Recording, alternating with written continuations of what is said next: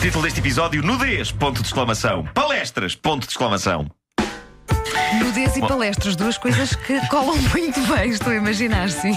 Bom, eh, por vezes eu sou convidado a ir às escolas falar aos alunos e é sempre estranho porque eu ainda sinto que estou mais na posição de quem recebe palestras do que na posição de quem faz palestras. E eu nunca percebo bem porque é que respeitáveis, responsáveis pela educação de jovens, acham que é boa ideia levar-me às escolas para falar. Possivelmente para que se veja que um caixa de óculos deprimente com problemas de sociabilidade nos tempos da escola até conseguiu fazer o que gosta na vida. Não sei. Eu, eu sei que fico sempre muito honrado com o convite, mas também preocupado porque eu não sei exatamente que conselhos dar aos jovens. Possivelmente comam menos gomas, pessoal! Pode ser um deles, não sei. Não sei. Sei que vocês também já, já foram chamados para fazer palestras. É verdade, eu sinto exatamente o mesmo Às que vezes tu. sente-se isso. E é, ah, o, que é que eu, o que é que eu tenho para dizer aos jovens? Eu fico à espera que eles digam Eu coisas a também mim. duvido Eh, sempre, sim. Bom, o que eu sei é que o treinador de uma escola em Nova Iorque convidou uma pessoa para fazer uma palestra destas à equipa de futebol feminino da escola. Estamos a falar de uma respeitável escola americana católica, o que, associado à pessoa convidada, talvez explique porque é que este treinador está agora no desemprego. Basicamente, ele achou boa ideia convidar para uma palestra inspiradora aos jovens uma estrela porno. A sério. E é nesta altura que faz falta aqui no estúdio Ricardo Araújo Pereira, porque sempre que referimos o nome de uma estrela porno, ele está a par do trabalho dela. Sim, sim, é uma pessoa muito é atenta muito atento. É conhecer. sim. Eu, eu confesso que não tenho acompanhado essa indústria, que- só as coisas mais antigas. Eu sou old school. não é? Sim, sim, sim. Ah, Ainda tens isso- VHS, não é? Eu- Alguns filmes guardados. Sim, sim, sim. Com uma etiqueta que diz Bugs Bunny. Ah, mas, mas eu não sei quem ela é. Chama-se Ellie Hayes, tem 28 anos, parece que é muito conhecida. E quando a direção da escola se apercebeu que o treinador tinha convidado esta artista para falar aos alunos, já era tarde demais. Ah, o treinador defendeu-se, explicando que ela não foi lá para falar do trabalho dela. E a verdade é que eh, ela, diz quem assistiu, falou bem e ainda deu conselhos úteis a raparigas sobre coisas da vida. Uma Olha, artista, uma artista de filmes para adultos a visitar uma escola secundária. Imaginem isto no nosso tempo. Algo com que só poderíamos sonhar. A rapaziada de hoje tem realmente tudo facilitado. Diz lá assim o nome do teu tempo.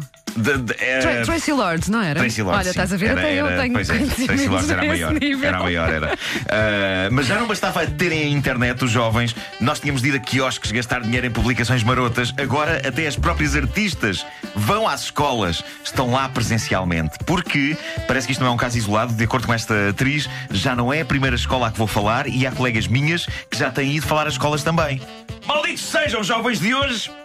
Entretanto, descobriu-se que o treinador responsável por este convite tinha um trabalho em part-time. Ah, ok. Era o responsável por um serviço telefónico de valor acrescentado em que punha atrizes de filmes para adultos em contacto com os fãs. Isso, é- isso é educação a mais alto nível. Ah, toda a gente tem que ter um segundo negócio hoje em dia também, não é? Ah, hoje em dia é impossível ter só um emprego. Ah, mas este tem uma certa nobreza, que é quebrar as pontes entre as estrelas e os comuns mortais.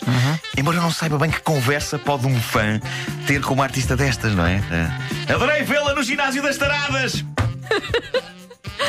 notar que não faço ideia se existe um filme com este título. Ah, como não? Não sou a mal. Não sou a mal. Olha, ah, Ahm, deixa-me esclarecer ah, o meu conhecimento de Tracy Lords. sim. As pessoas agora ficaram a pensar, ah, como ela sabe.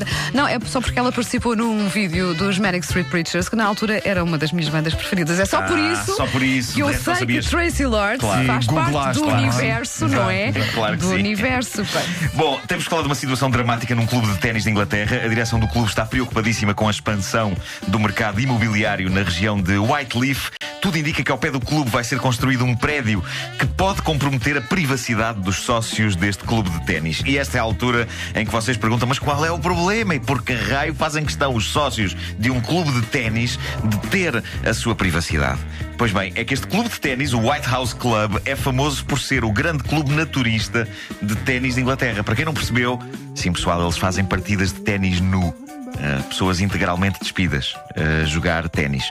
Inserir aqui piada sobre o quão próximo à palavra ténis está de outra. Bastante trocar o T pelo P. E seguimos em frente. Seguimos em frente. Uh, isto para mim é impensável. Eu já tenho um problema com tudo o que seja desportos que envolvam bolas a virtular a toda a velocidade. A razão pela qual eu não pratico desportos que, que envolvam bolas é porque, precisamente, o meu baixo ventre sempre foi uma espécie de ímã de bolas e é super doloroso. Agora, isto aliado à total e completa vulnerabilidade da nudez integral, valha-me Deus, quem é que se mete nisto? Aparentemente realmente. várias pessoas. É assustador. É assustador. Seja como for, a minha solidariedade para com os membros do clube de ténis nu White House Club. Claro que se fizerem um prédio ali ao pé, eles vão perder o sossego. A espécie humana é impelida para espreitar pessoas nuas. Que era uma coisa que não acontecia na pré-história, em que basicamente toda a gente andava nua. E esses eram os anos em que a espécie humana era impelida para espreitar pessoas vestidas. A sério, grupos de homens nus, aprendam, juventude, grupos de homens nus iam para trás de arbustos, olhar para mulheres cobertas em peles e a dizerem: Olha aquela toda tapada, oh boa, estás aí que não se vê nada, ali toda coberta por pelo de mamute, toda boa. Bom, bom é assim a pré-história, não é? É assim. Foi uma lição. Tão didático tudo isto. É verdade. É verdade. Está quase ao nível dos Flintstones.